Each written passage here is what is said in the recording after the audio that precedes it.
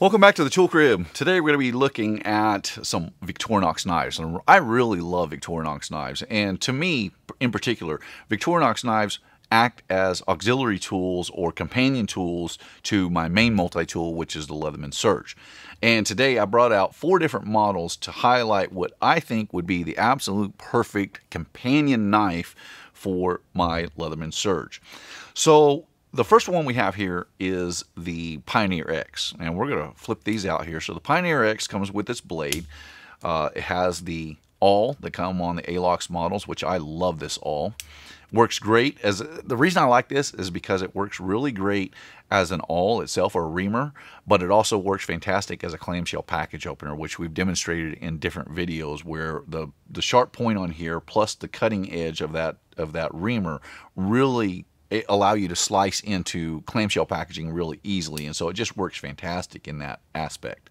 Uh, the next tool that we have on here is the scissors and the one thing I always forget about the Pioneer X is that the nail nick is on opposite side of where you would find it on most knives but nonetheless the scissors on the Victorinox knives are probably hands down the best multi-tool scissors out there. They just work fantastic. Though some people do complain that the spring has a tendency to break off, but they are replaceable and they're not hard to replace. So I really don't mind uh, this one, uh, this this scissor on Victorinox knives. It's just work fantastic. They're ultra sharp. They cut through almost anything you can imagine. Really great tool to have on there. And then with the other two tools on here, they're more of their standard tools. So you have your dual screwdrivers, bottle cap lifter, can opener, and then wire stripper down here. This is a great tool in and of itself.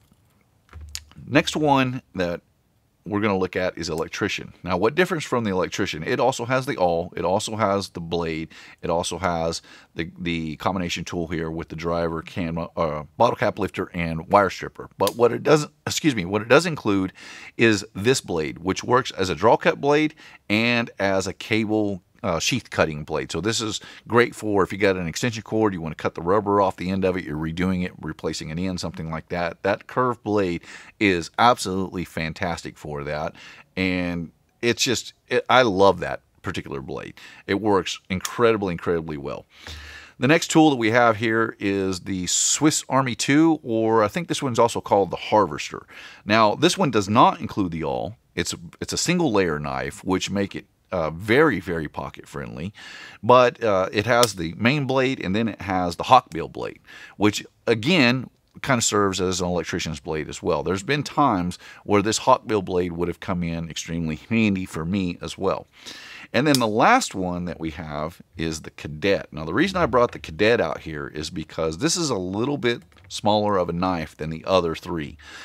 The Cadet in its Alox form is just fantastic. The problem with the Cadet is that they don't have a Cadet X. And from what I understand, years ago, they, they the machine that, that manufactures or makes the scissors for this style or this size of knife uh, was broken.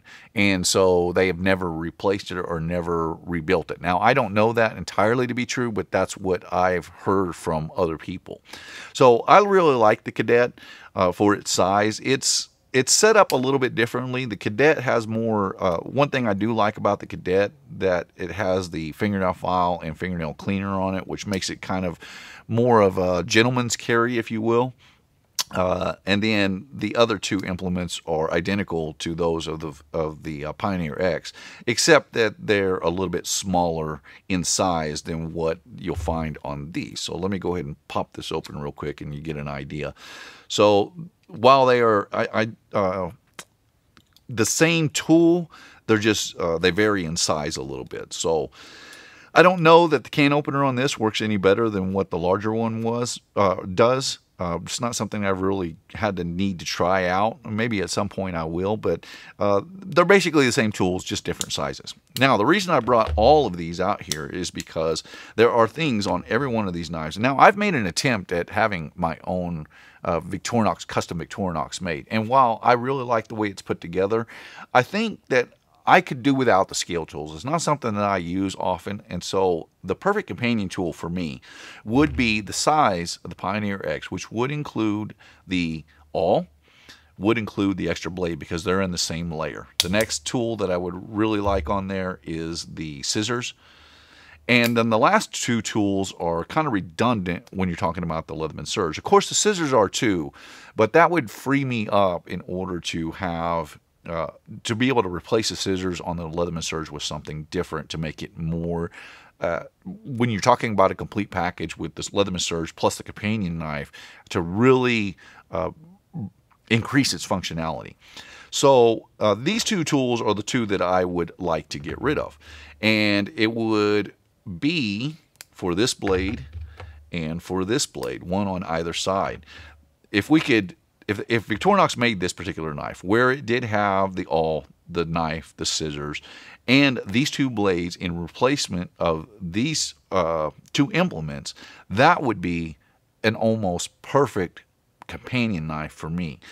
The only exception is I would like it in the cadet size. Now that would be absolutely ideal. In fact, I could actually go without the scissors if it included those four tools. If it had if it had the awl, the knife blade, which are in the same layer, and then a second layer with these two blades in a cadet size, that would be a companion knife that I would immediately buy, probably five of them immediately, uh, to complement my Surge. I could actually go without the scissors because the Surge does has, have a very good set of scissors.